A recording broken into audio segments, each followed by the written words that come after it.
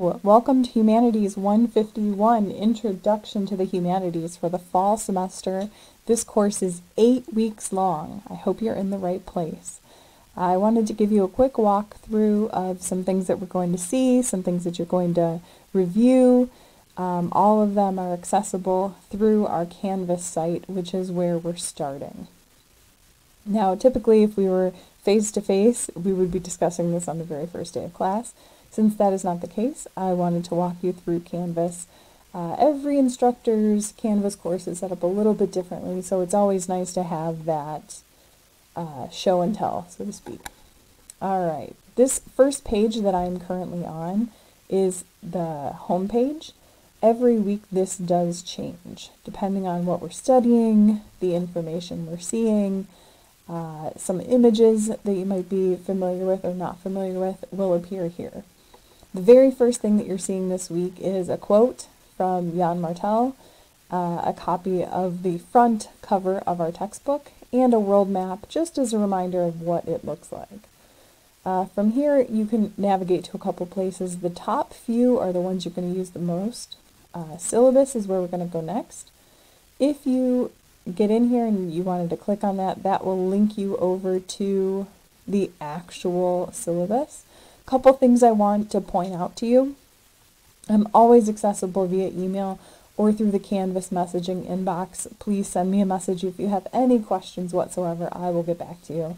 Uh, my goal is usually within 24 hours, if not much, much sooner. Uh, here is my office phone number. Please just kind of keep in mind the time, uh, but if you leave me a message or send me a text, I will get back to you. If you need an office appointment, uh, please send me an email or a text or leave me a message and we can set up an appointment to discuss anything. Uh, the course format, specifically everything in this course is delivered online via Canvas. The syllabus, the grades, all the material, everything is online. Uh, you can read through much of this on your own. A couple things I wanted to point out. The textbook. The textbook is called Reality Through the Arts by Dennis J. Sporre. It is up to you which version you get, whether it be the 7th edition or the 8th edition. Either is perfectly acceptable. There are minor, minor changes between the two editions. Um, I own both the 7th and the 8th, and the changes are sm so small you wouldn't even notice. So whichever is easier for you, whichever is the least expensive option is which I encourage you to take part of.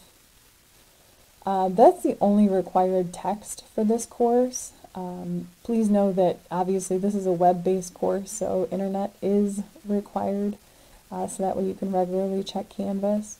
This is also an 8-week course as opposed to a 16-week course, so that doesn't mean the information is less than, it just means that we fit 16 weeks into 8 weeks. So it is an intensive course. Uh, every week there are readings from the textbook. These are not optional.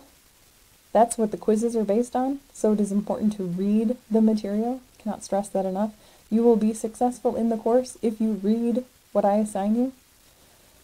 Um, the assignments. There are six quizzes, one each week, essentially. Um, one very brief writing assignment, which I will introduce after the midterm.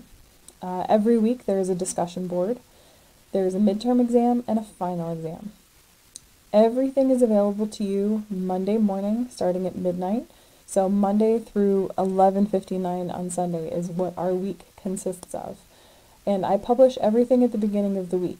So you have an entire week to kind of plan ahead for everything. That being so, I don't accept late work. You can kind of see when we get down to the bottom here of what is upcoming each week, so you'll be able to plan ahead a little bit. Um, but again, no late work. Uh, we're just going to scan through these kind of quickly here. Uh, it's important, because we're in an eight-week course, to complete your material. Uh, you have two weeks of material to complete to meet the attendance policy, so make sure you're doing all of that. Midterm grades are supported, uh, I'm sorry, are reported the week of September 17th. That's coming. Uh, if you do have to withdraw from the course, I do not withdraw you myself. If you do have to withdraw, the last date for that is October 2nd. Um, Again, there's a lot of information in here. Feel free to go through and scan for your own. information purposes. As you get down here, it says preliminary course schedule. You can kind of see what we're reading each week. So if you wanted to get a head start on the reading material, um, the discussion boards, the quizzes won't be available until Monday at midnight, but you could always look ahead to see what is coming if you're sort of plotting and planning for your life. There you go. As I said, the 7th or 8th edition of the text is fine. This is a copy of the 7th edition. Again, perfectly acceptable. This is a copy of the 8th. Um, again, I, I try not to give page numbers only because the, the page numbers slightly vary between the two editions, um, but the chapters remain completely the same. Hopping back over to Canvas, um, everything will be in modules. Everything flows from modules. So that is the place to start. So you log in, if you go straight to modules, you'll see what everything is. And I've tried to lay it out so that way you can easily follow it. Uh, this guide will be available. I will email that out very, very soon. Um, but things to review for the first week specifically, you want to review the syllabus. Again, you want to go through and read that on your own. Uh, you want to read every week. I will provide you um, some lecture notes and a chapter outline of each chapter that we're working on. I also include links to some of the pieces of art um, and some views of the humanities, so it's not just the textbook you're always dealing with. Uh, the week one reading usually breaks down, in this case it's going to break down that we're looking at uh, chapters 1 and 2 this first week, um, and then things to do. So these are the deliverables that you have at the end of the week. So this week we have three uh, your introduction post. This is just the very basic, generic, please say hi, uh, but make sure to read that prompt because I threw in a question. Uh, the first discussion board in there uh, pertains to chapters 1 and 2, and then a quiz, again, about chapters 1 and 2. If you didn't want to, you can click anywhere on that modules page, but if you didn't want to, you could, you could always go over here to discussions, same thing with quizzes, you can see what's in there and when it's available. The assignments, it's going to show you the same thing as modules. Here your upcoming assignments with the due dates. Um, now notice uh, the, the due dates are on here. Even though it says available until, that just means that I turned it off at a certain time, but note the due dates.